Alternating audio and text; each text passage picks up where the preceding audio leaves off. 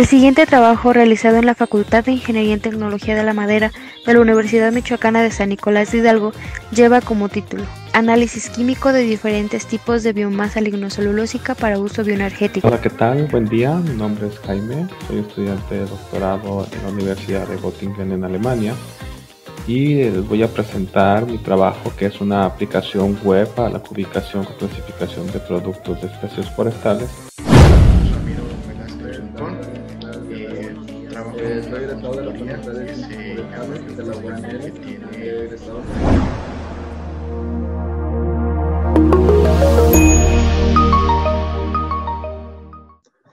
Hello. Um, as I just mentioned, I'm Zev Starmans. I Hola, work at the Ministry soy Zev Starmans.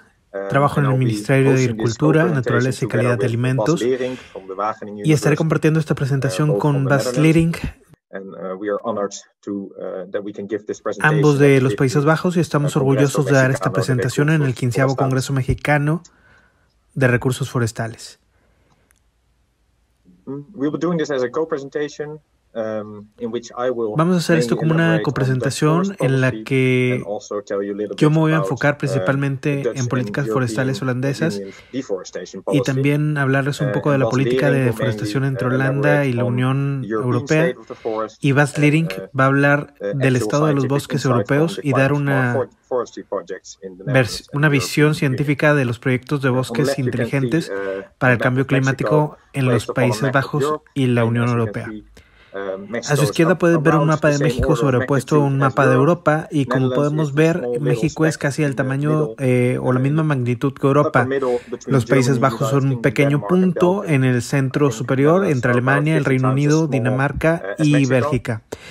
Creo que los Países Bajos son and, uh, un together- 50 today we will veces eh, más pequeños que México y hoy vamos a hablar de los nuevos desarrollos en ciencia y política en los Países Bajos y también de una visión más grande en toda la Europa. Um, Entonces, eh, Uh, hay bosques en los Países Bajos. Países Bajos es el segundo exportador de productos agrícolas, así que quizás nos conocen por flores, queso, Um, tomates y otros productos. Esta Um, producción requiere de muchas personas y también 17 somos un país muy densamente poblado, alrededor de there any 17 room for millones de habitantes en una porción de territorio muy pequeña. Entonces, eh, 11% queda lugar para los bosques, por fortuna sí. el you can see on 11% the de nuestra superficie es bosques. Como pueden ver a su izquierda, el color verde oscuro son áreas de bosques principalmente en la zona central, pero también en el resto del país. Para lograr Uh, esto tuvimos que trabajar muy duro, 19th century, we only had eh, 1.5% of our land area ya que a finales del siglo. XIX solo uh, teníamos alrededor de uh, there were a lot of 1.5% de forestation superficie forestal y después de uh, esto hubo muchos proyectos de aforestación, Um, principalmente para bosques productivos para la uh, industria uh, uh, en el sur de Países 100 Bajos y ya que la mayoría de nuestros árboles fueron plantados hace menos de 100 años, nuestros bosques se están diversificando y volviéndose viejos. También se ha vuelto importante no solo para la producción de madera, también para la recreación y otros servicios de los cuales hablaré más adelante. Netherlands are 50% La propiedad de uh, los of bosques en los Países Bajos es de serves government. 50% pública, de la 50%, cual el uh, Servicio uh, Forestal del Estado es eh, dueño de la mitad, y un 50% privada. La mayoría de parte de nuestros bosques en los Países Bajos son multifuncionales. Solían ser principalmente para la producción de madera, como pueden ver en las imágenes del centro, pero cada vez más estos bosques se han enfocado en otras funciones como la recreación, como pueden ver en la parte superior izquierda, biodiversidad, valor histórico y también educación. Nosotros creemos que estos bosques son multifuncionales, eh, que la suma de estos es mejor que uno solo. Así que en los últimos años ha habido algunos desarrollos que han llevado a la necesidad de desarrollo de una nueva estrategia forestal para los próximos 10 años. Primero les hablaré eh, un poco de los sucesos que condujeron a esta nueva estrategia. Primero que nada, alinearse con las metas internacionales, como el Acuerdo de París, que indica que debemos reducir nuestras emisiones de carbono a un 49%. También tenemos un un acuerdo holandés sobre cambio climático en el cual se establece que los bosques no contribuyen a disminuir las emisiones, pero actúan como sumideros de carbono. El segundo es que en los últimos 10 años ha habido mucha deforestación en los Países Bajos. En las imágenes que vemos a la izquierda podemos ver eh, la parte superior de un campo de brecinas y en la inferior una pradera. Las aves de las praderas están amenazadas y también los ecosistemas en los que habitan.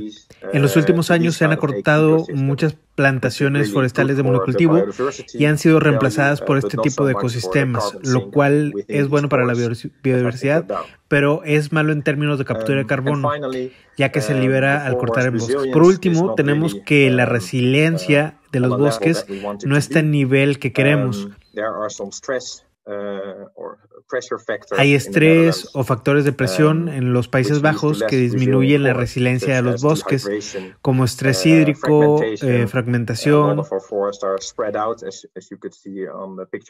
Muchos de nuestros bosques están dispersos por todo el territorio, lo que dificulta a algunas especies que se desplacen de un lugar a otro.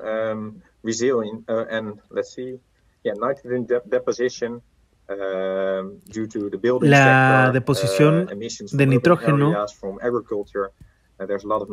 debido al sector de la construcción, uh, emisiones urbanas, la agricultura, que llevan a la acidificación de suelos forestales en Países Bajos.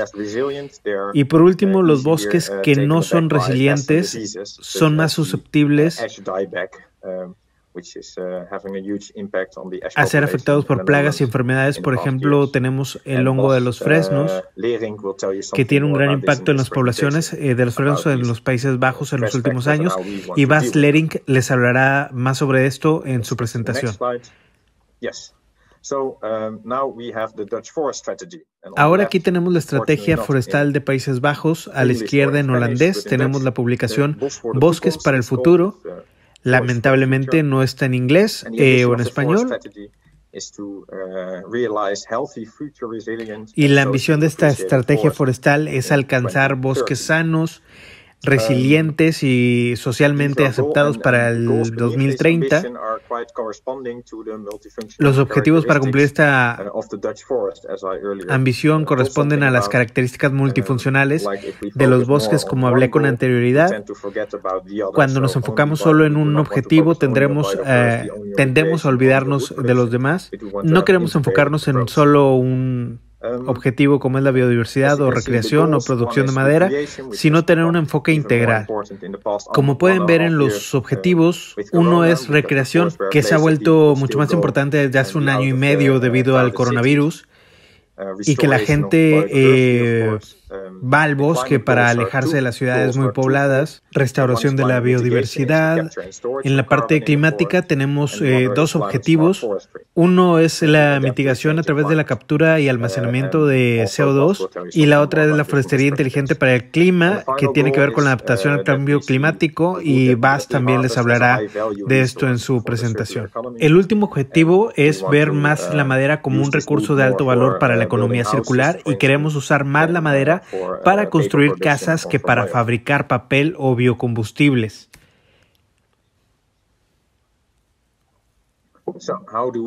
Así que la pregunta es, eh, ¿cómo podemos poner estos objetivos en práctica? Uh, Hay cuatro enfoques principales para esto. El primero es expandir nuestra superficie forestal en un 10%. Estos son 37 mil hectáreas en los próximos 10 años. Y en un país pequeño como Países Bajos es difícil encontrar áreas para plantar nuevos bosques y la solución que hemos encontrado para esto es combinar el bosque con otros eh, sectores como el de la construcción, el solar, eólico y otras energías, incentivando que los proyectos contemplen el establecimiento de los árboles en la construcción de parques solares, turbinas eólicas o en la construcción de viviendas.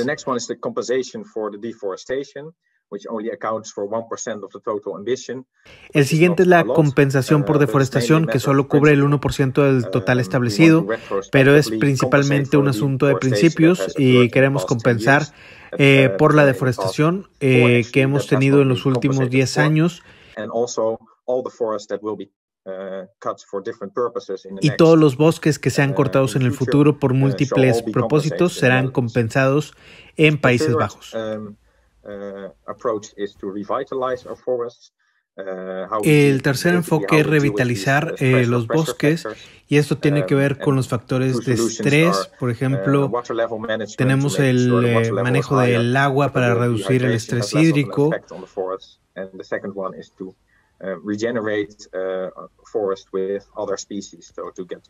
O la plantación de otras especies para tener bosques mixtos para que sean más robustos ante el clima. Um, uh, el cuarto enfoque es algo peculiar y consiste en poner uh, árboles fuera de los bosques. Uh, Como su nombre lo dice, consiste en poner árboles, por ejemplo, en zonas urbanas para mejorar la calidad de vida de los habitantes y también la agroforestería, que combina la capacidad de los árboles de capturar carbono en las características productivas de la agricultura. Además de hablar de estos enfoques, nos gustaría hablar de um, las estrategias de financiamiento. Por ejemplo, la uh, expansión del 10% de la superficie forestal será financiada en un 50% por el sector público y 50% por el sector privado. Y el sector privado es especialmente interesante porque tiene que ver con un mercado de carbono en el que el sector privado puede invertir en certificados de carbono para compensar sus emisiones y que estos certificados pueden ser utilizados por propietarios privados de tierras para invertir en sus bosques, lo que contribuye a la estrategia. Las siguientes son los recursos genéticos forestales. Para cumplir con esta ambiciosa estrategia forestal, Uh, Los recursos genéticos uh, merecen mucha más uh, atención con la conservación en sitio de los valiosos recursos genéticos holandeses.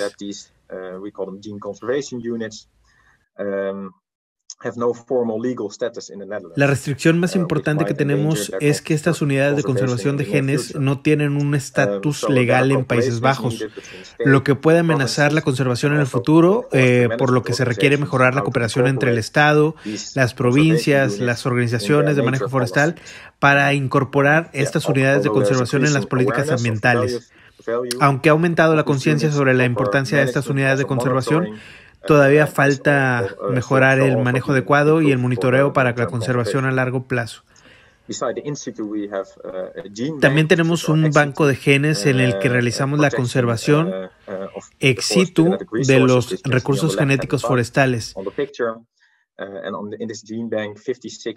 Como pueden ver en la imagen de la izquierda, en este banco genético se trabaja en la conservación de 56 especies amenazadas.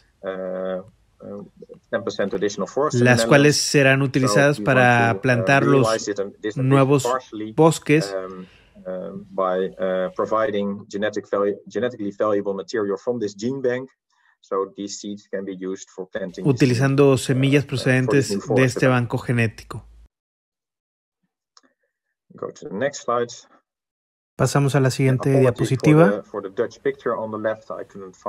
En esta imagen tenemos una comparación de la superficie forestal de Países Bajos en comparación con la Unión Europea y con el mundo.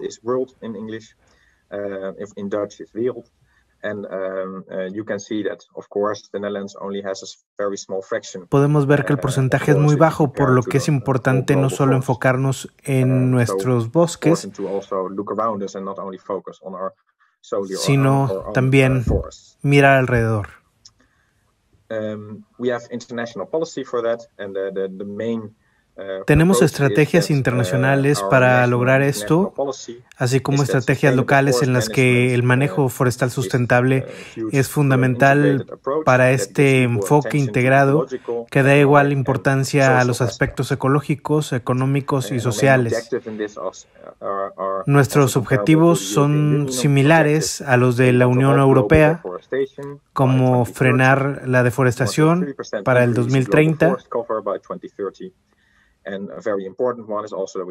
así como uh, aumentar la superficie forestal. Para esto es muy importante colaborar con la Unión Europea para tener un impacto más allá de nuestro pequeño país. Um, Al mirar más de cerca el uh, problema de la deforestación, vemos que Europa tiene una alta demanda de materias primas agrícolas como la soya, el cacao y quizá la más importante para México es el aguacate. Y esta alta uh, demanda puede ocasionar cambios en el uso de suelo en los países productores, donde los bosques están siendo reemplazados por tierras agrícolas. Una de las cosas que trabajamos con la Unión Europea es el fortalecimiento de las políticas relacionadas a cadenas productivas para prevenir importar productos relacionados con la deforestación.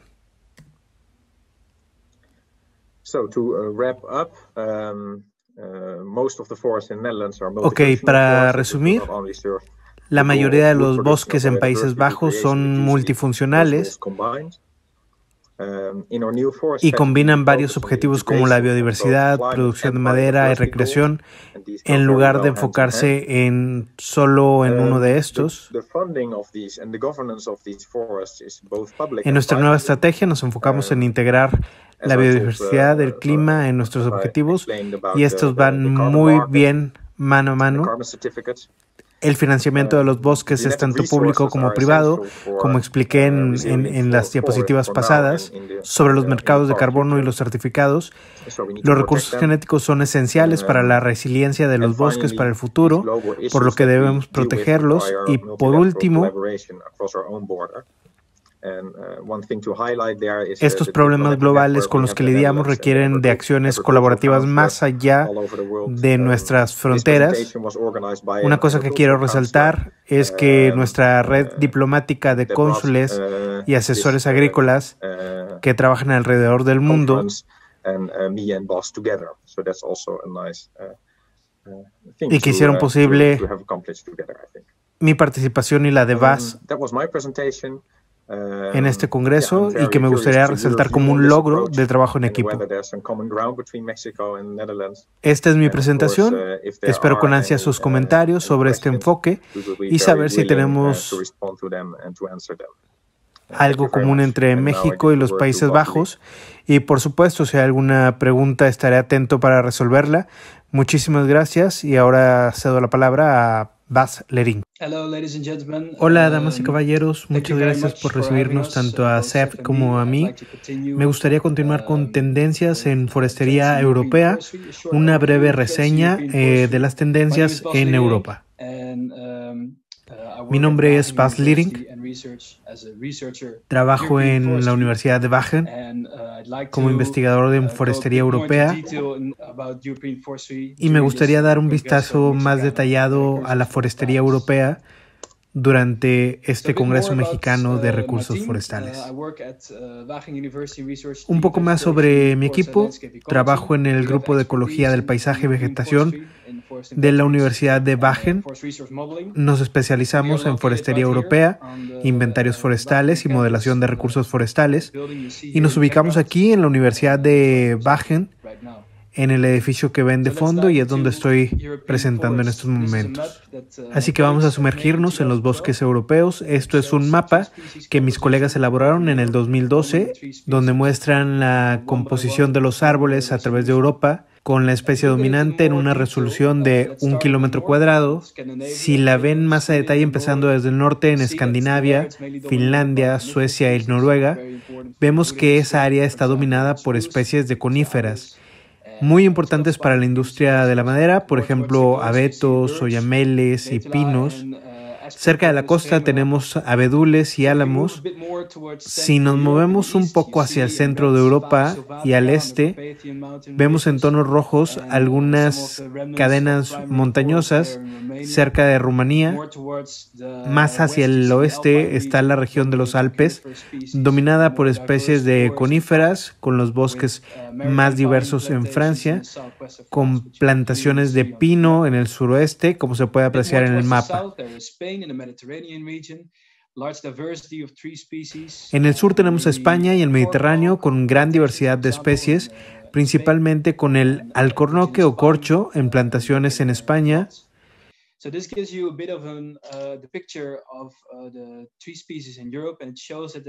esto da un panorama de las especies de árboles en Europa y muestra que existe una gran variedad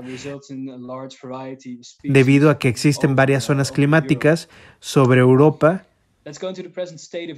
Vamos al estado actual de los bosques europeos. Los bosques y otras áreas con vegetación forestal cubren 178 millones de hectáreas en los 27 países de la Unión Europea y casi todas están bajo manejo activo.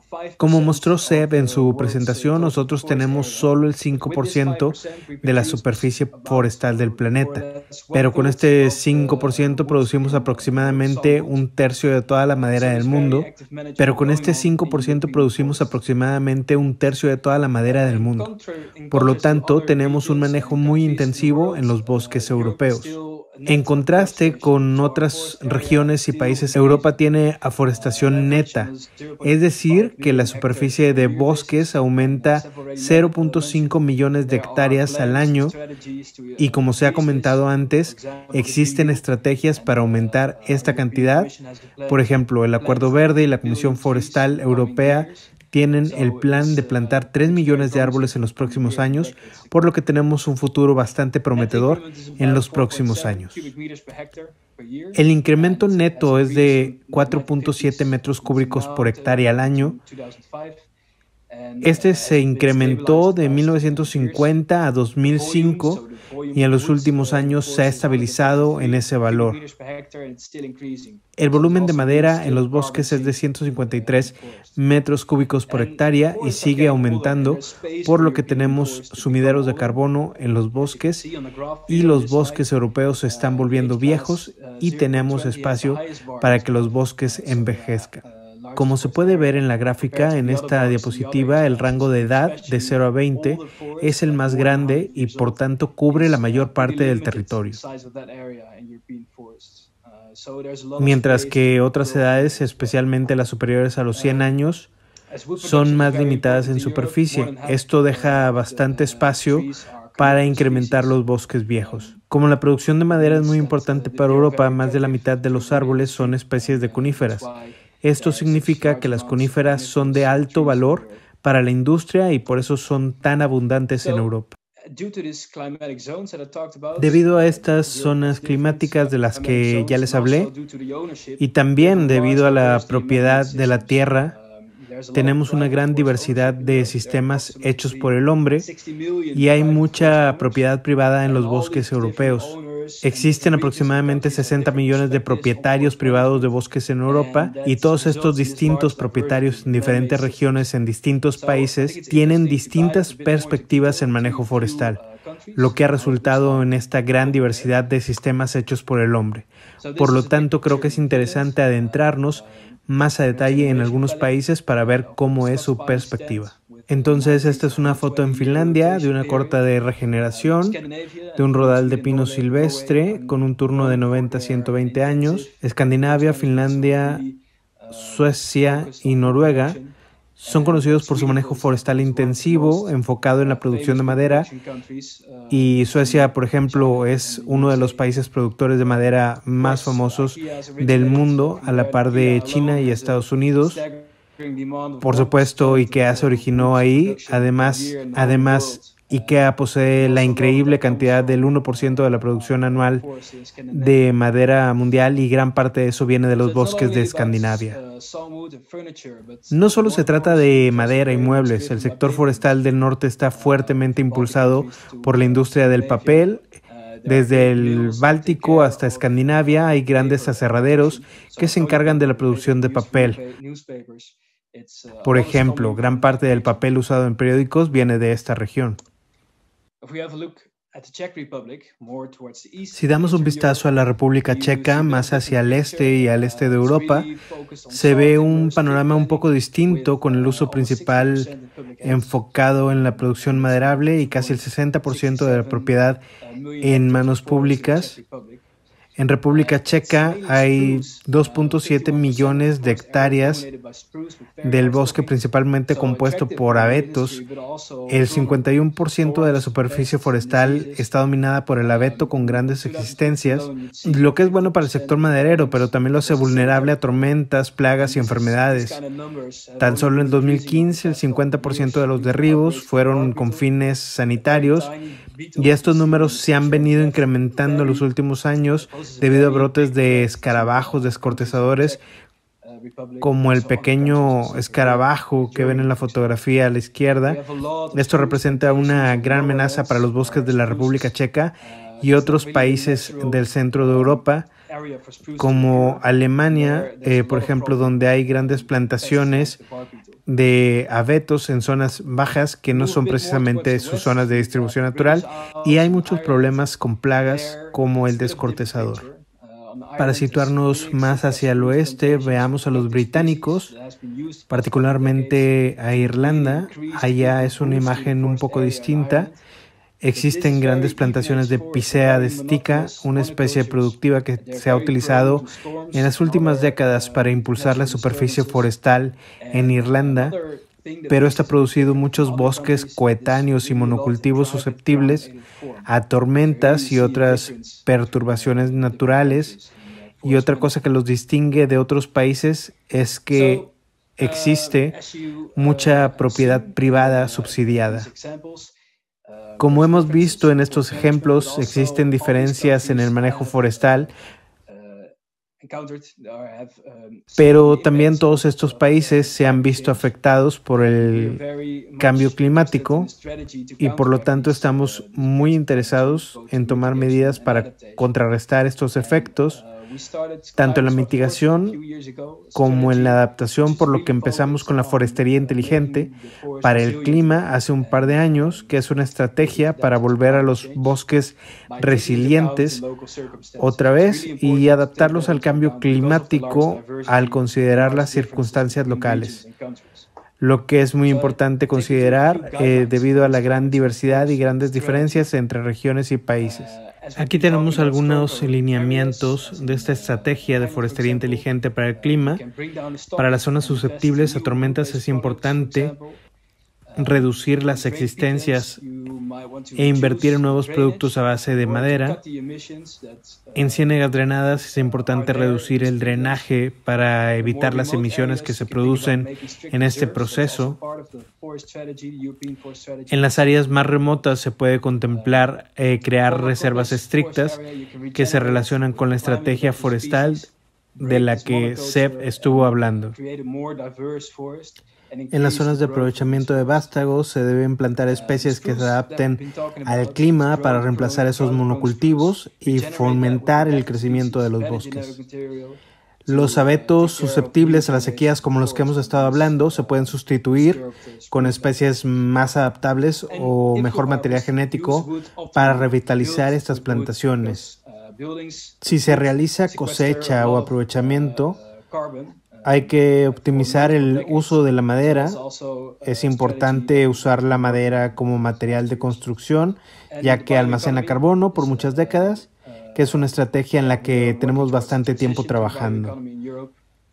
La bioeconomía, la que estamos haciendo una transición en Europa, y mientras este movimiento crece, eh, lo queremos vincular al sector forestal. Y el rol de los Países Bajos en esta forestería inteligente para el clima es bastante impactante, ya que no somos un país grande en términos forestales. Tan solo el 11% de nuestra superficie está cubierta por bosques. Pero existe una gran necesidad de mitigación y adaptación al cambio climático para preparar los bosques para los efectos que éste podría ocasionar. Como somos un país tan densamente poblado, podemos ver estos impactos de primera mano y queremos tomar acción para prevenirlos. Y por eso tenemos la estrategia forestal que se alinea con el acuerdo holandés por el clima que da seguimiento al Acuerdo de París del 2015, eh, donde tenemos la ambición de reducir y mitigar nuestras emisiones de CO2 y todos los sectores están incluidos, no solo el sector forestal o el agrícola, también la industria, la movilidad y otros que tienen la oportunidad de hacer algo al respecto. También el sector forestal y de naturaleza tiene la ambición de secuestrar 0.8 megatoneladas adicionales al año para el 2030 eh, y queremos lograrlo a través de la forestación y del manejo forestal mejorado. Ahora veamos algunas de las medidas que pueden adoptar y que ya se están realizando en los bosques holandeses.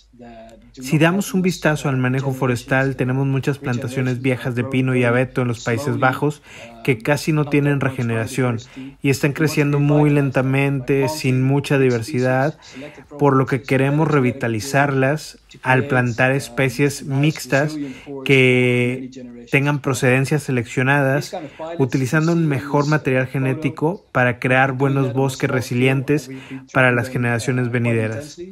Estos pilotos, como el que ven en la imagen, se han monitoreado de manera intensiva por dos años y planeamos monitorearlos en ciclos de cinco años para ver el efecto de estos métodos en nuestros bosques y poder escalarlo en casos de éxito. No solo se trata de manejo forestal activo, también hacemos investigación en reservas forestales acerca del secuestro de carbono y la gran pregunta es, manejar o no manejar. ¿Qué es mejor para el cambio climático?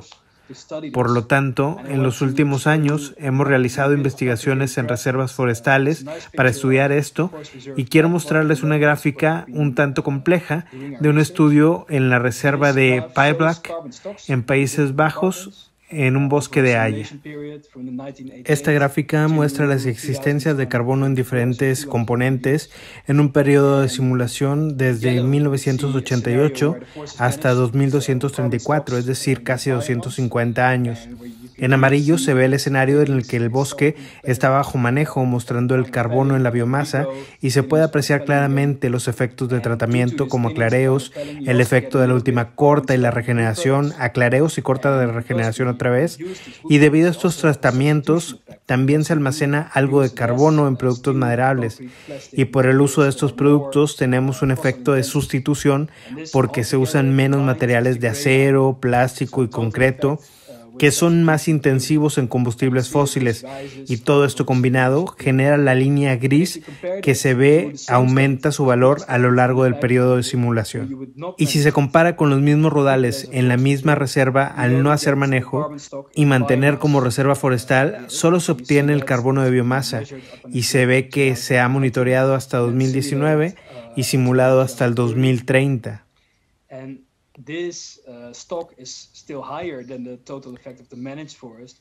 Y estas existencias son mayores que en el bosque bajo manejo. Pero se ve que ya se está nivelando y en algún momento será más beneficioso manejar este bosque que mantenerlo como una reserva. Todo esto es muy dependiente de las situaciones, pero este tipo de ejercicios de modelación son muy importantes para ver el mejor enfoque para mitigar el cambio climático y poder escoger el tipo de manejo más interesante para la mitigación del cambio climático. Además del manejo forestal, también estamos investigando la aforestación. Queremos plantar nuevos árboles y nuevos bosques en los Países Bajos y lo que hemos notado en los últimos años es que la combinación de funciones es lo que mejor funciona. Por ejemplo, al combinar la agricultura con la forestería, usando agroforestería, se ha vuelto muy popular y está funcionando. La forestación tradicional es muy difícil debido a los altos costos y la legislación actual, mientras que plantar árboles en, tierras agrícolas es muy buena solución y esto da muchas ventajas. Tienes la captura extra de carbono, que normalmente sería un pastizal para el ganado, como se puede ver en la foto, y al plantar estos árboles tienes captura de carbono, producción de madera, forraje para el ganado que se encuentra en los alrededores, así que tenemos muchas ventajas combinadas en un sistema y esto es muy interesante a medida que lo investigamos más y más y ver cómo lo podemos implementar a gran escala. Todas estas experiencias y resultados que hemos estado recolectando, queremos compartirlas con el público y también queremos obtener información de otros países para saber qué están haciendo en forestería inteligente para el clima, por lo que mi equipo y yo estamos desarrollando esta red que trata de acercar investigadores e institutos en Europa que trabajan en forestería inteligente para el clima y esta es una plataforma para que compartan eh, lo que han estado trabajando, sus resultados y sus experiencias. Aquí tienen el enlace, por favor echen un vistazo si así quieren y podrán ver que hay más de 20 proyectos a través de Europa en los que distintas instituciones han estado trabajando en forestería inteligente para el clima y ya estamos viendo grandes resultados para las distintas medidas. Así que veamos algunos ejemplos eh, de estos proyectos. Este es un experimento de irrigación. Un grupo de árboles fueron regados, de otro grupo no. Uh, estos son pinos uh, y tras estos periodos de riego se colectaron semillas en ambos grupos y se germinaron para ver si los árboles tienen una memoria ecológica.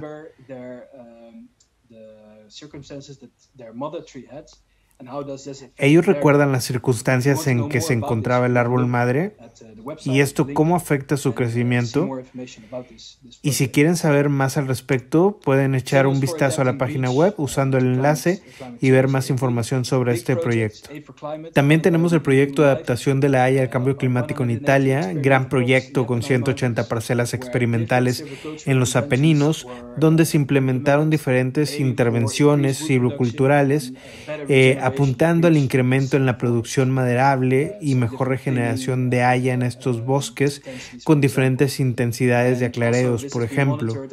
Y esto se monitorea por muchos años para determinar los efectos de las eh, intervenciones silviculturales y qué funciona mejor en esta región. Es muy interesante. Este proyecto está disponible en nuestra página web, así que si quieren saber más, echen un vistazo.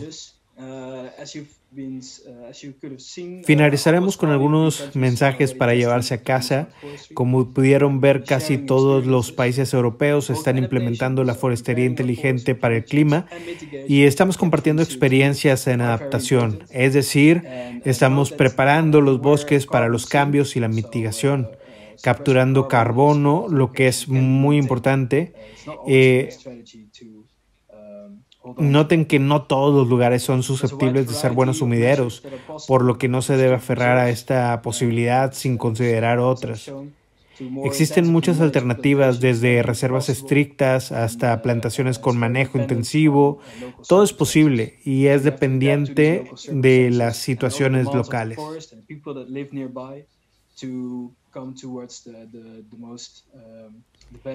Es muy importante adaptar las circunstancias locales a las demandas de los bosques para encontrar una estrategia que funcione mejor.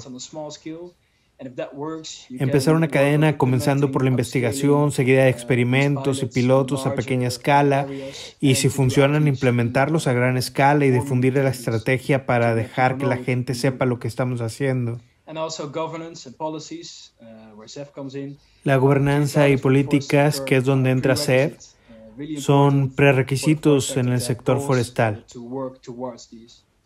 Es importante para el sector tener metas para alcanzar estos objetivos y las estrategias que se han recopilado están disponibles en la página www.climatesmartforestry.eu. Eso es todo por ahora. Cualquier pregunta es bienvenida y quisiera agradecerles por toda su atención. Um, Ok, para finalizar, eh, muchísimas gracias por darnos la oportunidad uh, de uh, contarles algo acerca de los desarrollos actuales en la ciencia y política forestal desde el otro lado del océano. Esperamos que hayan disfrutado las presentaciones y por um, supuesto que estamos dispuestos a resolver cualquier pregunta en caso de que um, surjan. y por supuesto que estamos interesados uh, en su análisis de los enfoques que utilizamos. Y finalmente, si hubiera algún interés, puedo mandar un resumen ejecutivo de la estrategia forestal de Países Bajos en español para que ustedes o sus organizaciones conozcan más acerca de, la, de esta, además de lo que vieron en mi presentación. Muchas gracias. Gracias a todos por su atención en las dos presentaciones. Esperamos que hayan pasado un muy buen rato y si quieren saber más sobre los temas de los que hemos estado hablando, por ejemplo, por mi parte sobre forestería inteligente para el clima o la estrategia forestal de la Unión Europea, pueden mandarme un correo a la dirección que aparece en la diapositiva. Muchísimas gracias.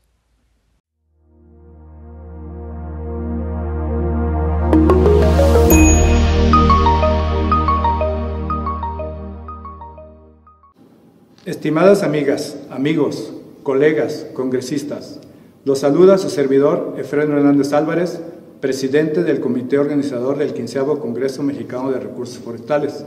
Es para mí un gusto anunciarles la numeraria del Congreso, que es el resultado del esfuerzo y participación activa de todos ustedes en esta edición a la distancia, pero unidos en torno a nuestro lema, la gestión eficiente de los recursos forestales reto y oportunidad de todos.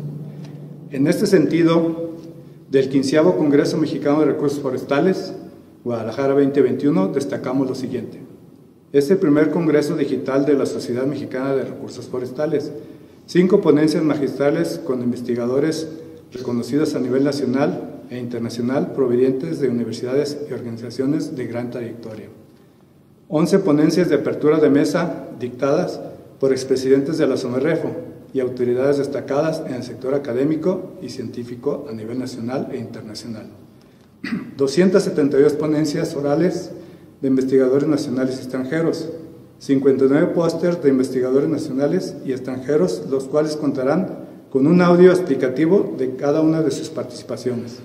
Es importante mencionar que la participación internacional es cada vez mayor en nuestro Congreso, en esta edición contaremos con participantes provenientes de 15 países, Alemania, Colombia, Costa Rica, Cuba, Ecuador, España, Guatemala, Haití, Holanda, Honduras, Japón, Moldavia, Panamá, Perú y por supuesto México. Sumando una participación de 288 instituciones nacionales y extranjeras. Durante la inauguración del Congreso los organizadores brindaron un reconocimiento al doctor Miguel Ángel Caport Arteaga por su trayectoria profesional y como primer presidente de la SUMERREFO. Los 353 resúmenes quedan publicados en un libro de resúmenes con su respectivo ISBN en formato digital e impreso.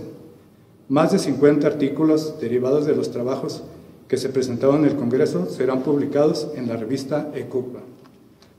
Quiero expresar a nombre de la Sumerrefo y del comité organizador, nuestro reconocimiento al doctor Carlos Vía Zárate, rector del CUCBA, por su apoyo incondicional.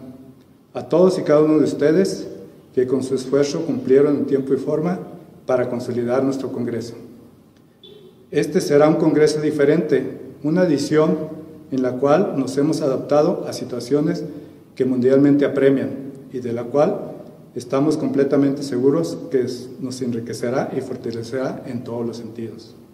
Y donde espero que nos apropiemos del lema la gestión eficiente de los recursos forestales, reto y oportunidad de todos. Muchas gracias.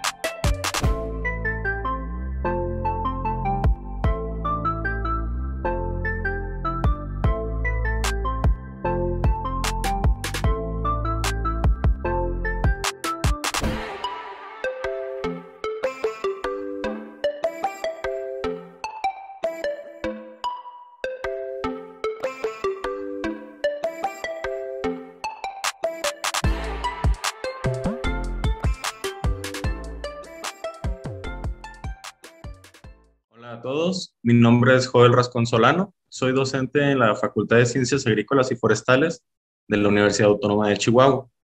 En este momento me voy a permitir compartir pantalla con ustedes. La temática se ha titulado Caracterización estructural y carbono almacenado en un bosque de pino encino censado en el estado de Chihuahua.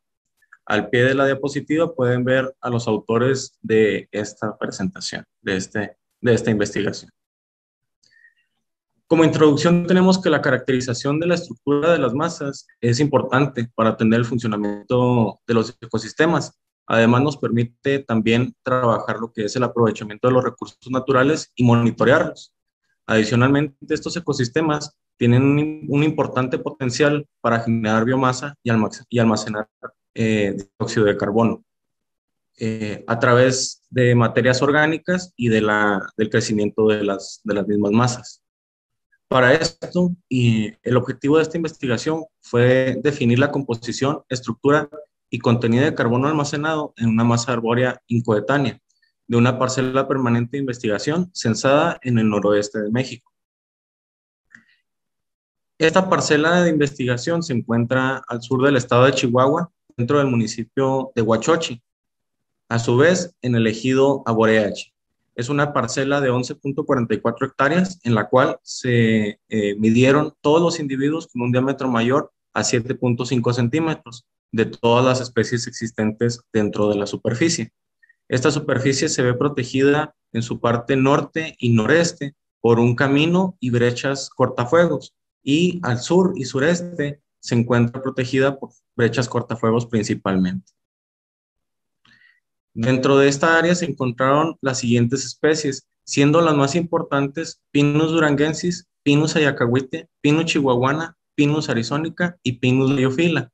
Dentro del género Quercus encontramos a Quercus hidroxila, Quercus rugosa y Quercus magbawe, entre otras especies de, de hojosas y de pináceas también. Los diámetros máximos que se encontraron fueron de hasta 90 centímetros para el caso de Quercus y las alturas máximas de hasta 29.30 metros para el caso de Pinus duranguensis.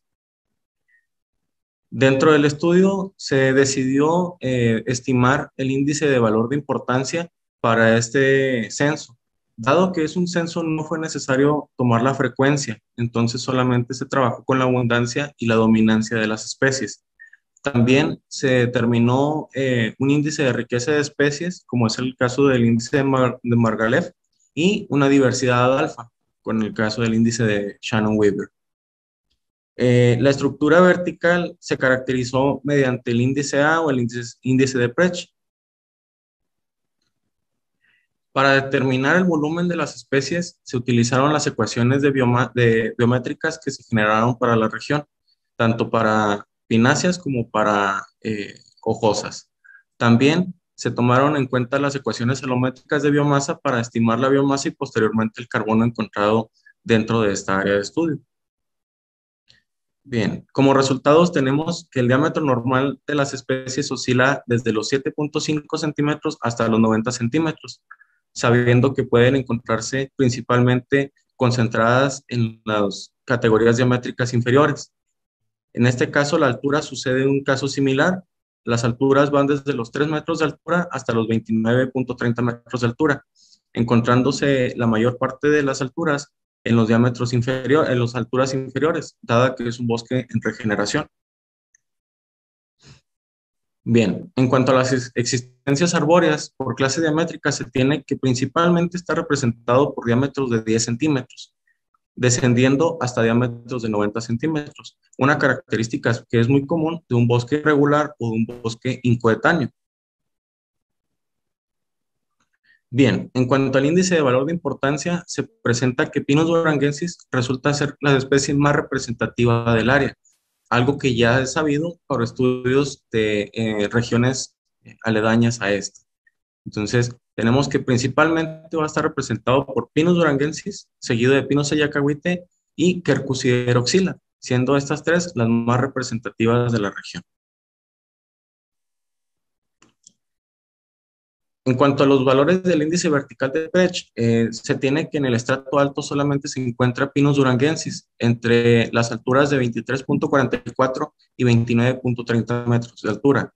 El estrato medio se ve representado por Pinus duranguensis, Pinus ayacahuite y Pinus, Pinus quercus hidroxila y Pinus chihuahuana principalmente, siendo un rango de 14.70 a 23.40 metros de altura.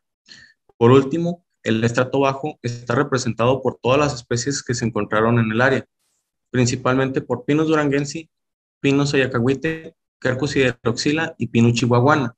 Estas especies son las más representativas tanto en el estrato bajo como en el estrato medio. Ok. Ah, en este punto tenemos la estimación individual de volumen, biomasa y carbono por especie. Sabiendo que Pinus duranguensis es la especie más abundante dentro del área, eh, es sabido que se puede tener eh, también que es la especie que tiene el mayor volumen dentro del área. En este caso tiene 1.222 metros cúbicos de volumen total árbol, una biomasa de 687.45 megagramos y 343.73 megagramos de carbono. Las menos representativas para este caso en volumen, biomasa y carbono fueron Quercus fulva y Quercus candicans, debido a que solamente presentaron un individuo dentro del área cada una. La distribución del carbono por categoría de métrica nos arroja que las principales categorías de métrica que abonan carbono a, este, a esta área de experimentación son entre los diámetros de 30 y 45 centímetros, representando casi el 50% del carbono total del área. También tenemos una creciente cantidad de carbono en las categorías de 55 a 60 centímetros de diámetro. Por último, se desarrollaron eh, algunas relaciones entre eh, diámetros, área basal y alturas para determinar cuál es el mejor predictor del contenido de carbono dentro del área, encontrando que el área basal es la que representa mejor ese crecimiento en carbono dentro del área, por encima de la altura del Orey y del diámetro cuadrático, teniendo un R cuadrado de 0.90. 90. Entonces es un buen predictor el área basal para estimar el carbono contenido dentro de las masas forestales. Como conclusión, se tiene que las especies de las familias Pinacea y Fagacia son las más frecuentes y abundantes dentro de los climas templados fríos eh, del estado de Chihuahua. Para este caso, Pinus duranguensis, Pinus ayacahuite y Quercus hidroxila representan las alturas y diámetros de mayores dimensiones. Por ende, también son las que concentran mayor cantidad de biomasa y mayor cantidad de carbono capturado. Además, la biomasa y carbono, y carbono eh, acumulado en las especies arbóreas del área de estudio son similares a los registros realizados en otras, en otras zonas de la Sierra Madre Occidental. Por último, se tiene que el establecimiento de parcelas permanentes en grandes superficies de bosque y los resultados obtenidos mediante su estudio y monitoreo eh, cuentan con potencial para ser empleados como base en el desarrollo de planes de investigación también planes de conservación, manejo y aprovechamiento sustentable de los recursos forestales. Agradezco a todos los presentes, a todas las personas que nos acompañen en esta serie de ponencias eh, por visualizar las presentaciones. Muchas gracias.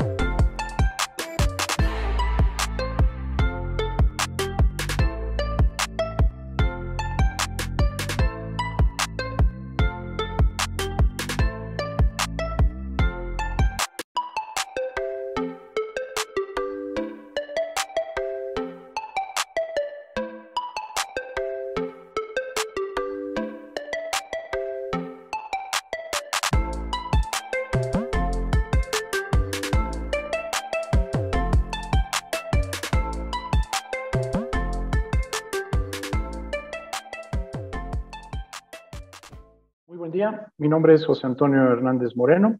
Soy investigador del Instituto de Investigaciones en Ecosistemas y Sustentabilidad de la UNAM y me permito compartir pantalla para iniciar mi presentación.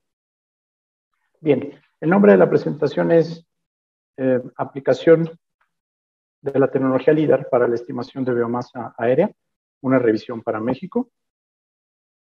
La medición y el monitoreo de la biomasa aérea eh, de la vegetación terrestre se ha convertido en un tema de investigación importante en los últimos años a nivel mundial.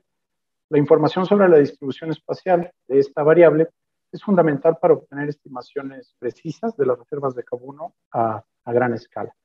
Tales estimaciones son esenciales para las estrategias de reducción de la deforestación, como el programa Red.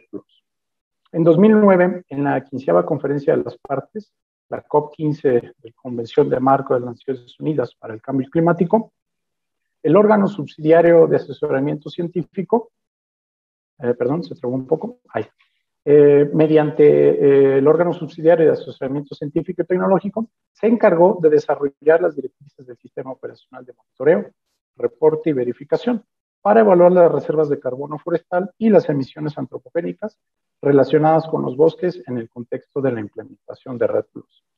Eh, los principales componentes de este sistema operacional son medir la extensión y el cambio en el área forestal, informar de las existencias y emisiones de carbono y verificar los hallazgos y la implementación de las actividades.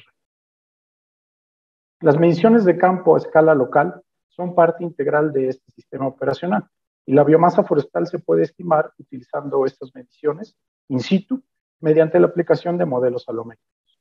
Aunque este método es costoso y requiere mucho tiempo, es fundamental para proporcionar la base eh, para extrapolar estas mediciones locales a áreas más grandes utilizando enfoques de teledetección. Si bien las directrices eh, del sistema operacional MRV no establecen explícitamente los requisitos eh, de precisión, algunos estudios afirman que las estimaciones por teledetección deben cumplir con errores de biomasa dentro de 20 megagramos por hectárea o 20% de las estimaciones en campo, lo que sea mayor, pero no deben exceder errores de 50 megagramos por hectárea para, por ejemplo, un mapa de biomasa global con una resolución de hectárea. Dado que cuantificar el cambio en las existencias de carbono es una prioridad del sistema operacional MRV, es fundamental estimar y evaluar los niveles de biomasa dentro de estos límites de error. Los objetivos de este estudio, el principal fue realizar una revisión de la literatura sobre investigación y aplicación de sensores LIDAR en la estimación de biomasa aérea en México, y los objetivos eh, específicos fueron tres. Ubicar la tendencia espacial y temporal del uso de la tecnología LIDAR en la estimación de biomasa aérea, describir los resultados que evalúan los errores del modelo en función del tipo de sensor, el tipo de vegetación y el tamaño de parcela, Ah, y por último, eh, discutir las implicaciones generales de los hallazgos en el uso del LIDAR para la estimación de biomasa. Materiales y métodos. Se examinó la literatura para localizar publicaciones relacionadas con este tema. Para las publicaciones convencionales se utilizaron las bases de datos y motores de búsqueda Springer, Thomson Reuters, Elsevier y Wiley, y sistemas abiertos de información como Cielo, Redalic, Dialnet y Google Scholar. Para la literatura gris, eh, aparte de estas fuentes de información, también se consultaron las bibliotecas digitales y dentro de los servidores de instituciones académicas. Se analizaron los documentos que resultaron de la búsqueda, con los cuales se procedió a construir una base de datos para sintetizar y sistematizar la información de cada estudio, mediante eh, cinco ejes principales, que fue información general, área de estudio, objetivos del estudio, métodos de estimación de biomasa aérea, donde eh, localizamos o identificamos qué tipo de sensor LIDAR se usó y los resultados, principalmente estadísticas de bondad de ajuste.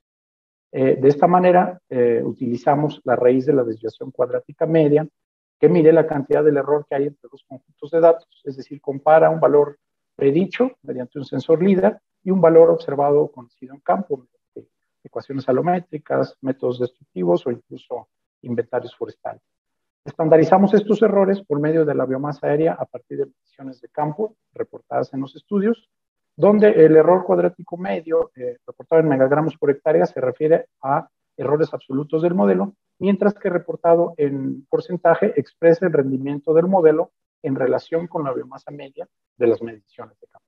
Posteriormente realizamos pruebas de T utilizando este error cuadrático medio en porcentaje para evaluar las diferencias de los errores de la estimación de biomasa y para explorar las diferencias en rendimiento de estas estimaciones eh, entre tipos de, sensores, tipos de biomas e incluso en el superficie de parcela. Resultados y discusión. El conjunto de datos resultantes se categorizó para evaluar el rendimiento por tipo de sensor LIDAR. La estrategia de búsqueda permitió encontrar 27 eh, documentos que, fueron, eh, que se acotaron a los objetivos del trabajo y en los cuales resultó una base de datos de 27 estudios a partir del año 2011 y hasta el 2020, con diferentes tipos de sensores y a diferentes escalas. La ubicación física de estos 27 estudios la vemos en pantalla, eh, un mapa donde eh, si un estudio evaluaba múltiples ubicaciones, todos los sitios se incluyen en el mapa. Eh, este mapa también está discriminado por tipo de sensor, donde identificamos cuatro principales, que son LIDAR aéreo, de retorno discreto, de forma de onda completa, la combinación de estos llamados multisensor, ya sea con sensores ópticos o radar, y el LIDAR terrestre. Asimismo, se identificaron seis eh, estudios a nivel nacional o que mostraron un mapa de biomasa aérea en gramos por hectárea a nivel nacional. Tres regionales para el norte, centro del país y península de Yucatán, así como uno que fue a nivel nacional pero también reportó una media de biomasa aérea para cada una de las 32, entidades federativas. Los 18 estudios restantes fueron a nivel local y o regional. De manera general, los errores disminuyen conforme aumenta la media de biomasa aérea estimada. Estos errores, eh, bueno, estos hallazgos, perdón, son similares a los reportados en otros lugares del mundo basados en muchos más estudios. El error cuadrático medio de los análisis que utilizan datos LIDAR aéreo incluido el de, retorno discreto y forma de onda completa, y multisensores disminuyó exponencialmente con el aumento de la biomasa aérea, como vemos en el gráfico de la, de la derecha. Y eh, mientras que los LIDAR terrestres tuvieron una disminución relativamente moderada en sus errores de estimación con el aumento de, de la biomasa aérea. Los niveles medios de biomasa reportados por estos estudios fueron consistentemente alrededor de 100 megagramos por hectárea. El sensor eh, eh, LIDAR aéreo eh, de forma de onda completa, esquematizado en la gráfica como FRL, fue el que mostró errores más grandes. Algunos autores sugieren que esto se debe a que utilicen sensor láser GLASS, el cual no fue diseñado para estudios de vegetación y tiene errores relativamente más grandes en la estimación de altura del crucero, lo cual explica en parte su reducida utilidad para estimación de biomasa.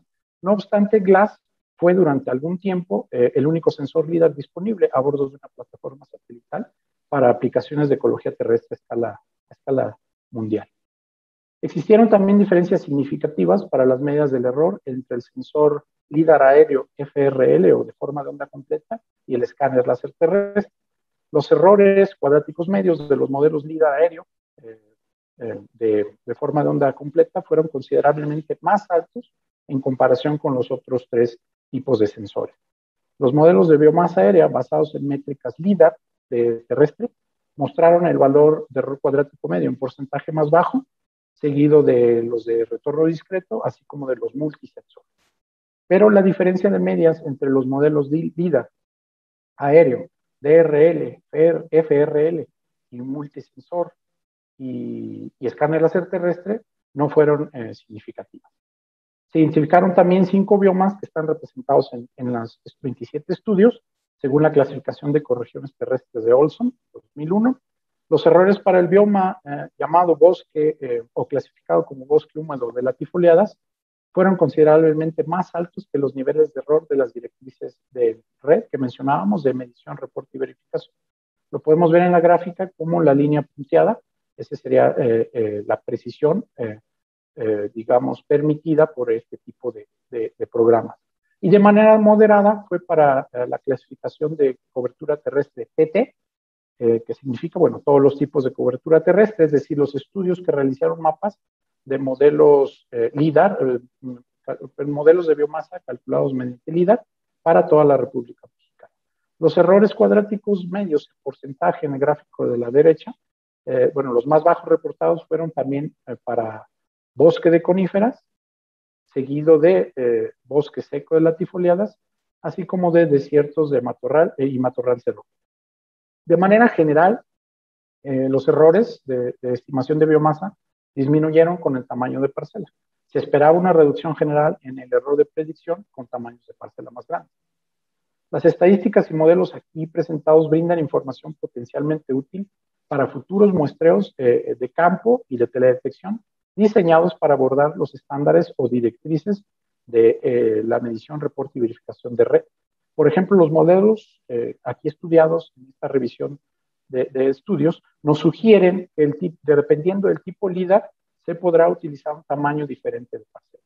Esta revisión sugiere que las estimaciones de biomasa aérea con LIDAR eh, no requieren parcelas de tamaño tan específico, ya que los resultados muestran que estos sensores tienen errores bajos o disminuyen el error conforme disminuye el tamaño de parcela. Pero eh, desde 0.1 hectáreas a 0.8 hectáreas mantienen eh, el nivel de error. Finalmente, las conclusiones. De manera general, eh, podemos decir que la tecnología LIDAR para aplicaciones forestales y más aún para estimación de biomasa de carbono han sido poco utilizadas en México. Sin embargo, su uso es cada vez más frecuente y se espera que incremente en la medida eh, de que incremente también la disponibilidad de datos tanto aéreos como terrestres y que sea más accesible y asequible. Y también que el software para su procesamiento mejore sus algoritmos la facilidad de uso y además sean de código abierto o de uso libre. Por otro lado, los valores medios eh, de los errores de predicción de biomasa de todos los modelos variaron de menos de 7%, que son los escáneres LIDAR terrestre, a más del 40%, que eran los escáneres aéreos eh, de forma de onda completa. Esto cuando se expresaron en relación con la biomasa promedio medida en campo y por tipo de bioma, tipo de sensor o superficie de parcela. Se esperaba la variación por tipo de bioma ya que, bueno, debido a que la estructura del dosel probablemente juegue un papel importante. Es decir, dependerá del tipo de, de, bioma, ya sea coníferas, latifoleadas, caducas o perennifolias, la misma topografía, la estructura del dosel, la mezcla de especies, incluso eh, igual que numerosos factores específicos de cada estudio, tanto entre los tipos de bioma como dentro de ellos. Otra conclusión es que la disminución del error del modelo con el aumento de la superficie de parcela fue evidente pero variable. Es probable que esta variabilidad esté influenciada por las muchas diferencias entre los estudios individuales, incluidos los errores en el registro conjunto de la muestra LIDAR y en las propias estimaciones de campo, es decir, el uso de diferentes relaciones alométricas, los tamaños de muestra, es los mismos modelos alométricos de diferentes especies.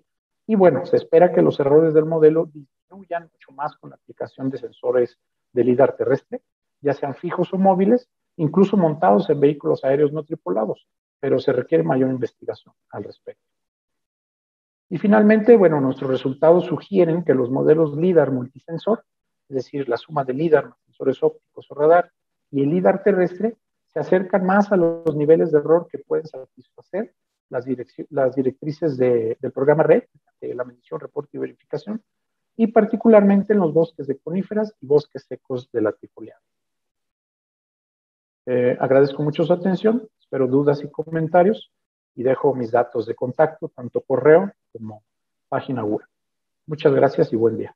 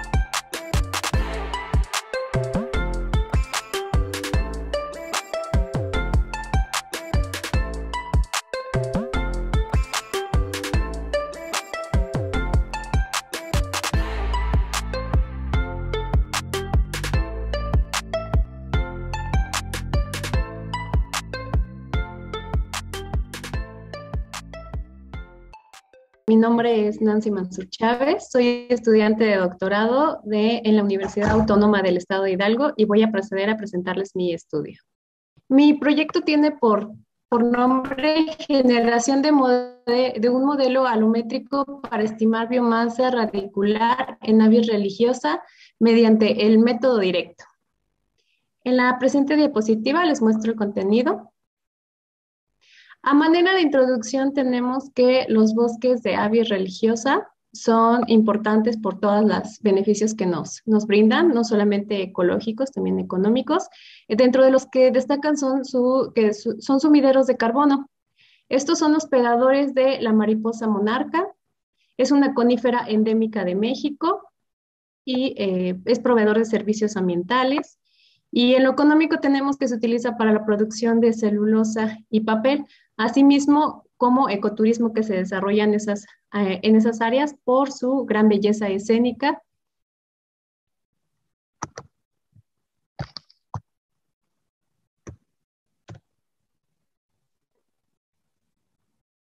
La biomasa vegetal son todos los componentes orgánicos dentro de un ecosistema. Este es considerado como un elemento importante de los bosques por el uso y funciones que se obtienen de ella. Por ejemplo, almacenan carbono y nitrógeno y se considera esencial en el ciclo global de estos elementos. Además, es una fuente de energía renovable. Dentro de un ecosistema forestal se reconocen diferentes componentes de almacenamiento de carbón, tales la biomasa sobre el suelo, que nos referimos a, todos árboles, arbustos, la biomasa eh, eh, sobre el suelo, que es la necromasa, que son o, árboles vivos, árboles muertos en pie o ya derribados, y la biomasa en el suelo, que son las raíces de toda la vegetación y la materia orgánica. Las raíces desempeñan un papel clave para los árboles. Estas absorben agua y nutrientes del suelo y, almacenan componentes de carbón y proporcionan estabilidad física, debido a que estas constituyen dentro del 20 al 40% de la biomasa. De esta va a depender de, la especie y de las condiciones en las que se desarrolle. Las raíces de la vegetación de los árboles son la parte menos estudiada y entendida de los ecosistemas. Esto se debe a que se tiene muy limitada la información debido a la dificultad que implica obtener los sistemas radiculares completos y por la gran cantidad de trabajo que implica la medición eh, individual. En ocasiones se ocupa maquinaria hasta pesada para poder extraerlos, entonces esto implica altos costos, alto trabajo, eh, mucha mano de obra. Este, eh, y pues aparte hay un reducido marco conceptual, esto ya por lo que mencionamos antes, también la metodología pues no se ha estandarizado, hay varias metodologías, pero no se ha encontrado alguna que sea eh, lo suficientemente este, accesible que permita obtener una medición. Estas a menudo se, se solían medir este, a partir de ecuaciones celométricas de la parte superior,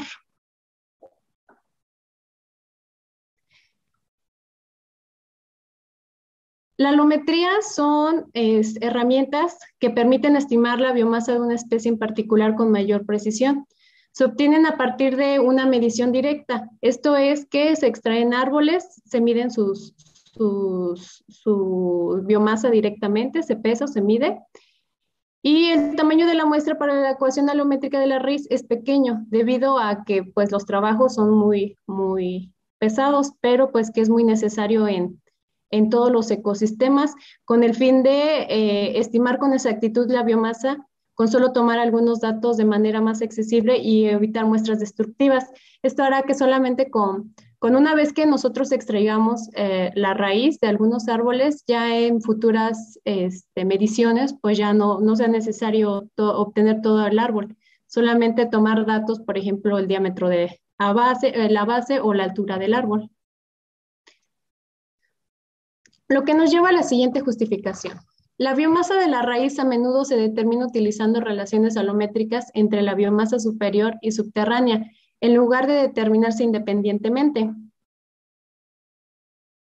y por ello se plantea el siguiente objetivo, generar un modelo alométrico para estimar la cantidad de biomasa acumulada en el sistema radicular de árboles de avis religiosa en el Parque Nacional El Chico Hidalgo.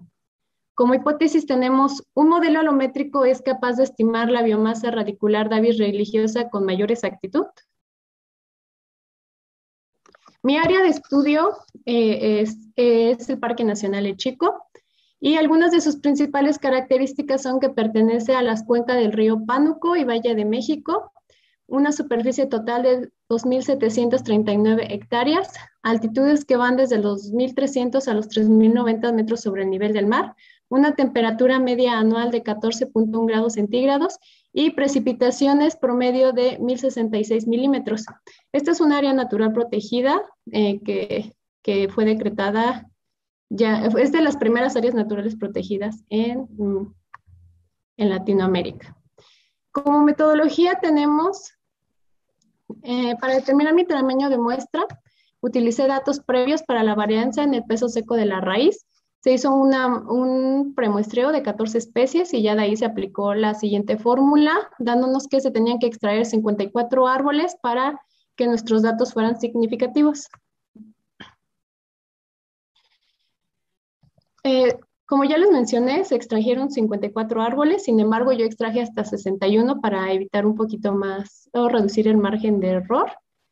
Y estos iban de las alturas desde 0.6 metros hasta 3.56. Los criterios que se tomaron en cuenta para seleccionar los árboles es que estos estuvieran libres de daños, que no estuvieran muertos y lejos de caminos o brechas, esto con el fin de que el suelo no estuviera compactado y pues eh, incrementara la dificultad de extracción.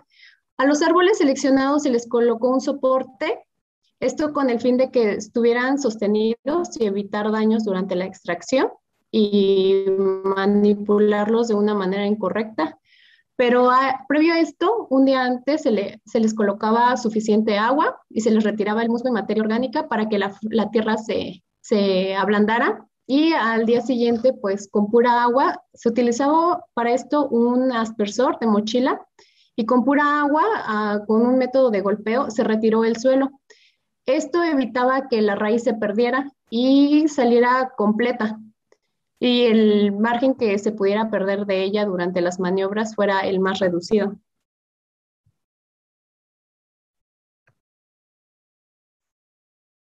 Las variables evaluadas fueron la altura en pie del árbol, el diámetro a la base, la edad, número de ramificaciones de la raíz, peso fresco del árbol completo, peso fresco solo de la raíz, peso seco del árbol completo y peso seco solo de la raíz.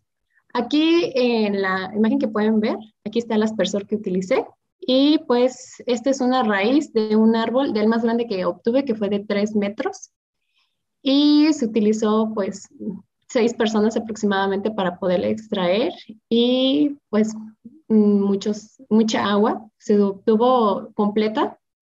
Y aquí les muestro, por ejemplo, un árbol de 54 centímetros. Una vez que se obtenía el árbol, se llevaba al Instituto de Ciencias Agropecuarias, pero se colocaban las muestras en bolsas de papel previamente identificadas y se llevaban a una estufa de secado a 80 grados centígrados.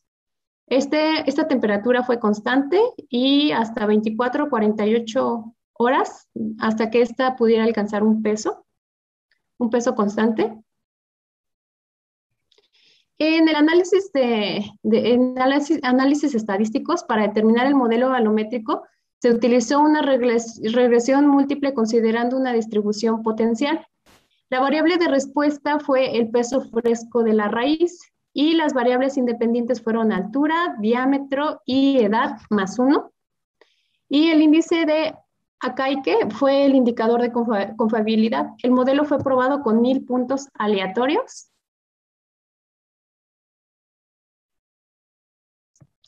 El modelo mínimo con mejor ajuste y que resulta tener significativamente menos error fue el basado en diámetro. La fórmula propuesta para esta especie fue de 20.918 eh, por diámetro elevado a 2.4475 y se utiliza el diámetro. Esto es decir que cuando vayamos a campo solamente requerimos medir el diámetro de nuestros árboles y utilizar la fórmula que está, se está proponiendo aquí.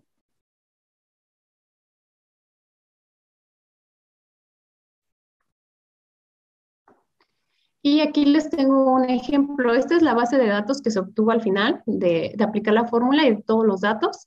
En esta hoja de cálculo, lo único que tenemos que hacer nosotros es colocar la altura en pie de, del árbol.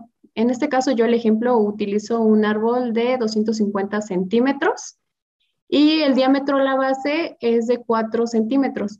Este, este dato es real, yo lo, lo obtuve en el parque directamente de una especie.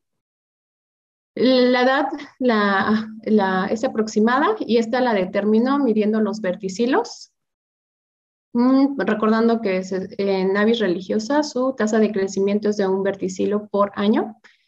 Y de ahí eh, me da el peso fresco en raíz, que sería de 622.389 este, gramos. Y yo aquí lo convertí a kilogramos. Entonces quiere decir que un árbol de 250 centímetros de altura va a tener .622 este, kilos de, biomasa eh, fresca. También pretendo en un futuro hacer este, sacar el coeficiente para pues ya determinar la, biomasa total, que, porque aquí como ya lo mencioné es en fresco y ya solamente obtendría el, el, el carbono, obtener el carbono total almacenado y que es un, el modelo ya se está trabajando. El modelo alométrico, bueno, como conclusión tenemos que el modelo alométrico estima con precisión la biomasa bajo el suelo contenida en las raíces, lo que permitirá obtener la biomasa completa de un bosque de avis religiosa, teniendo acceso a datos tanto del componente aéreo como el radicular. Esto permitirá en futuros inventarios estimar completamente el carbono, ya que, como sabemos, el carbono es el segundo el segundo este, mayor importante almacén de carbono en el planeta, solo presidido por los océanos, y que a veces no está tan, tan estudiado o no hay mucha metodología para obtenerlos con exactitud. Aquí les presento parte de mi bibliografía que consulté. Y pues muchas gracias por su atención. Eh, mis correos para cualquier cosa y recordarles que soy de la Universidad Autónoma del Estado de Hidalgo. Muchas gracias.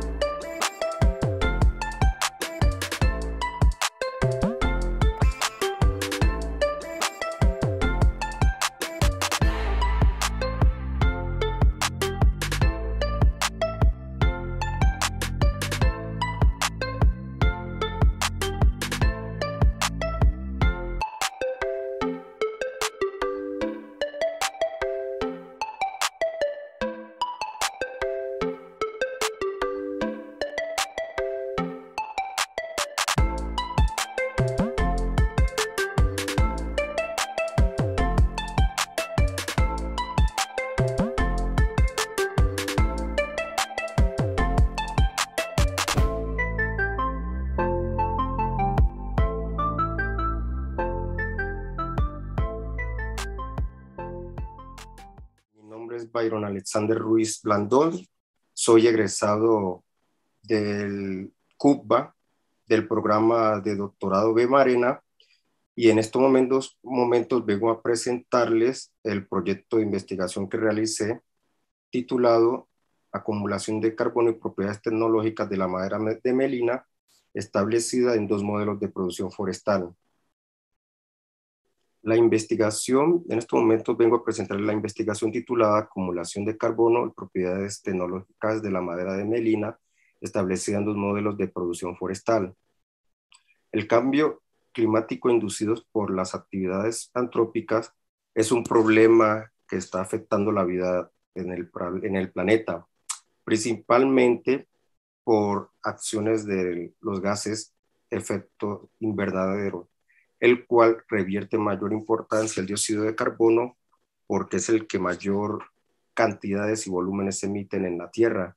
Sin embargo, dentro de las alternativas que se han planteado para mitigar dichos cambios son la sustitución de las fuentes tradicionales de producción de energía por fuentes más limpias y el establecimiento de plantaciones forestales con especies de rápido crecimiento y valor comercial. La melina es originaria del sudeste de Asia, pertenece a la familia Lamiacia. Inicialmente fue introducida en algunos estados del sureste y occidente de México. Las condiciones de sitio idónea para el crecimiento de la especie son altitud entre 0 a 1500 metros, temperaturas entre 24 y 31 grados centígrados, precipitación eh, anual máxima de 4000 milímetros y suelos con características franco-arcillosas y pHs ácidos y alcalinos. Sin embargo, dentro de la plantación mixta, la melina fue mezclada con el guayaquil y el laurel. Las tres especies comparten diferentes, similares características, lo cual tienen como particularidad que son de rápido crecimiento, crecen en similares condiciones de sitio y son de valor comercial. El objetivo principal del trabajo fue evaluar la acumulación de carbono y propiedades tecnológicas de la madera de melina de 15 años de edad, establecida en una plantación pura y una plantación mixta en Nayarit, México. Los objetivos particulares fueron comparar el crecimiento y construir ecuaciones salométricas para estimar la biomasa de melina, cuantificar el carbono acumulado en la biomasa de la especie y caracterizar las propiedades físico-mecánicas de la madera. El proyecto se llevó a cabo en el municipio de Santiago Iscuintlan, en el estado de Nayarit. Eh, la ubicación de las plantaciones están en alrededor de 17 metros, con una pendiente del 2%. La temperatura oscilante del sitio es de alrededor del 24.4 grados centígrados y la precipitación total de 1.529 milímetros anuales. La vegetación predominante de la zona es selva baja caducifolia. En la parte superior, donde están las tres rectángulos, eh, obedece a la plantación mixta y en la parte inferior a la plantación pura. Los muestreos que se realizaron en dichas plantaciones fueron directos, en las cuales en cada plantación se establecieron tres parcelas de mil metros cuadrados cada una, donde se midió el diámetro y la altura total de los árboles. A partir de allí, de cada plantación se derribaron 30 por especies, se pesó toda su biomasa para el caso de hojas, ramas, fuste, raíz y se, se determinó su peso en fresco. Además, se tomaron muestras de suelo a diferentes profundidades con el fin de conocer sus propiedades. Y a partir de la biomasa del fuste se tomaron algunas trozas con el fin de determinar sus propiedades físico-mecánicas en laboratorio. Ya en laboratorio se realizaron cálculos dasométricos con el fin de conocer la productividad de las plantaciones. También se construyeron ecuaciones salométricas de biomasa con el fin de, de estimar el, el carbono acumulado en las especies estudiadas y la concentración del carbono en los tejidos del árbol fueron cuantificadas, por análisis elemental. Además, al suelo también se le determinaron sus propiedades, de las cuales tenemos como propiedad física la textura y la densidad aparente, y las propiedades químicas como el pH, capacidad de intercambio catiónico, conductividad eléctrica, concentración de carbono-nitrógeno, además de la relación carbono-nitrógeno. Y en el caso de las propiedades físicas, se determinó la densidad normal de la madera eh, y como propiedades mecánicas la flexión estática, compresión longitudinal, ruptura por impacto y dureza. Lo que podemos observar es que la melina cuando crece en el modelo de plantación mixta tiende a aumentar en un 12% el tamaño del diámetro, pero la altura total decrece en alrededor de un 5%. Sin embargo, la plantación mixta tiende a ser más productiva que la pura en alrededor del 27%, lo cual dicho obedece a las diferencias en densidades de plantación entre, las, entre los dos modelos evaluados. Sin embargo, nuestros datos fueron muy superiores a los reportados por otros investigadores, lo cual podemos deducir de que las condiciones de sitio y el manejo implementado en las dos plantaciones son de mayor eficacia que los reportados tanto en Nigeria como en Costa Rica. También dentro de las propiedades del suelo que identificamos, podemos observar que básicamente presentan similares propiedades a excepción del pH y la relación carbono-nitrógeno que favorece notablemente a la plantación mixta. Sin embargo, ya hay reportes donde se ha indicado que las condiciones de suelo idóneas para el crecimiento de la especie están entre un pH comprendido en 6 a 7.5, densidad aparente cercanas a un gramo por centímetro cúbico y una relación carbono-nitrógeno mayor a 20. Estas fueron las ecuaciones que nosotros logramos eh, elaborar. Presentan valores de ajuste muy apropiados para la estimación de la biomasa. Sin embargo, dichos valores coinciden con los reportados en otras investigaciones, lo cual estos modelos son idóneos para ser utilizados en, investigaciones relacionadas a lo que se propuso en este trabajo. Y en cuanto a la acumulación del carbono, también podemos notar que la melina cuando crece en plantación mixta eh, acumula alrededor de un 20% más de carbono en la biomasa de la hoja, eh, hasta un 25% de carbono en la biomasa de ramas un 10% del carbono en el fuste y alrededor de un 34% del carbono en la raíz.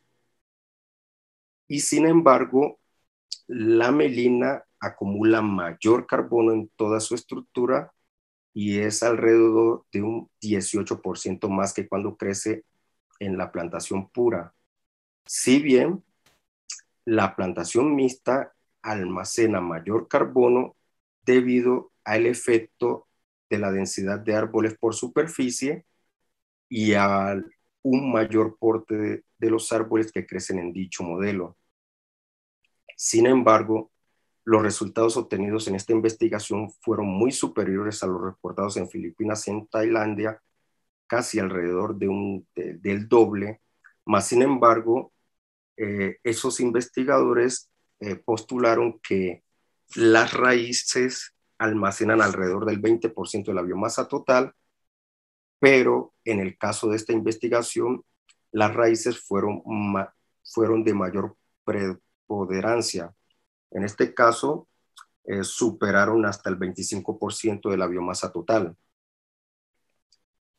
Y en cuanto a la tecnología de la madera, pues básicamente no encontramos eh, diferencias eh, realmente significativas porque dentro de las condiciones para que pueda existir un cambio en la calidad de la madera, o por lo menos de lo que se ha reportado, son de que una de las condiciones que pueden afectar dicha propiedad son la edad de las plantaciones y las condiciones de sitio.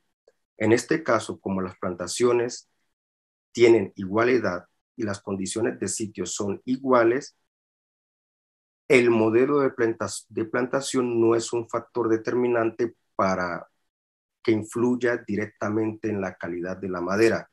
Sin embargo, los datos que se reportan en este trabajo están dentro del rango reportado por Moya Leandro en 2010 y Silva en 2010. Muchas gracias.